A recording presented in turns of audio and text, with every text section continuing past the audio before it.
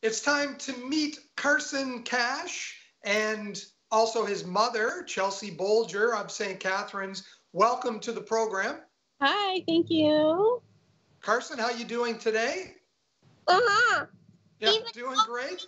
William. I'm doing great. Carson, can you explain to me why you have all of those bags of cans and boxes of bottles stacked up behind you? We're doing the Footsteps for Families Walkathon. We participate every year. We have for the last eight years. It's for Ronald McDonald House.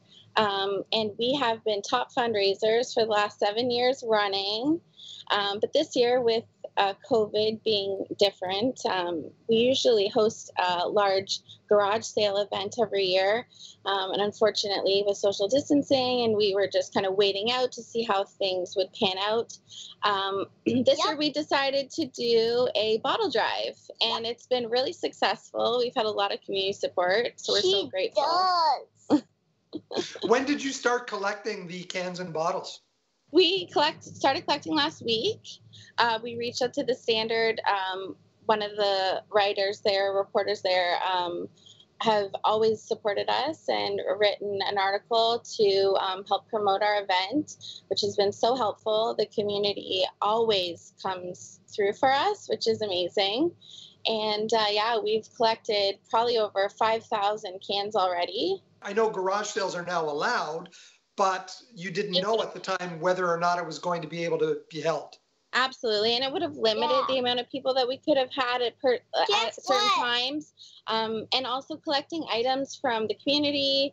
Um, you know, just a lot of COVID safety issues, I suppose you'd say. Um, so we just chose to stick with bottles and cans this year. We are hoping that lots of people might have some left over after being in quarantine um, for so many months. Um, so we've just been really fortunate. This cause is near and dear to your heart because when Carson Cash was born, he had uh, congenital hydrocephalus, which is water on the brain. Surgeries at McMaster. You and your husband stayed at Ronald McDonald House. Yes, we did. So when Carson was born, um, at four weeks, he needed his first brain surgery. Um, unfortunately, the first was unsuccessful. He had a second brain surgery at about eight weeks, um, and everything was great. He does have a shunt placed in his brain. Um, it's connected by a tube that drains the fluid into his abdomen.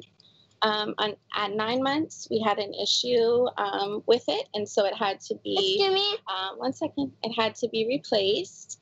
Um, but since then, since nine months, we've um, had no issues. He's been healthy and uh, thriving and doing well. So we're fortunate. And we just like to give back to the other families who have similar stories as ours. Carson, you seem to be a kid who has a lot of energy. You're going into grade two. Is that what we figured out Okay, this What- year? I can go What grade are you? back. What grade grade are you going into? Tell him. Tell him. Two. Woo! Grade two. What's your favorite thing to do? I understand you really like to swim. You love swimming? Uh-huh, when I grow up. when you're a kid too, you love swimming.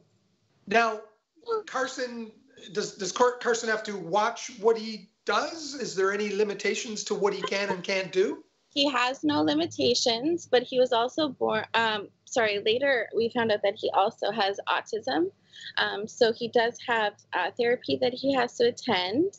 Um, but he is doing so so good. We are so lucky.